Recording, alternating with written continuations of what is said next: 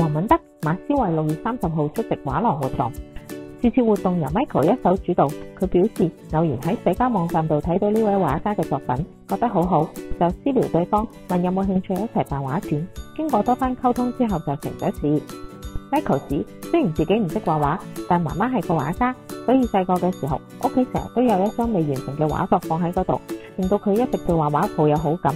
而 Janet 就自言自己嘅畫風都好幼稚。誒、我畫啲畫咧係好小朋友嗰啲，抽象派，抽象派係啦。除咗畫展，見過攝影嘅 Michael 指自己拍過一啲仔女細個時候嘅照片，一直希望可以辦一個家庭照嘅攝影展。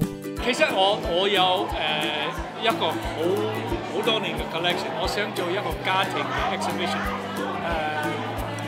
翻佢哋未出世嗰啲細路就啱啱出世嘅時嘅時候，到而家做一個香港家庭嘅 exhibition。我已經同 Janet 傾呢個問題，佢可能唔記得，不過有機會啊，我 有機會啊，有好有興趣，係啊。咁希望可以盡快睇到 Michael 嘅攝影展啦。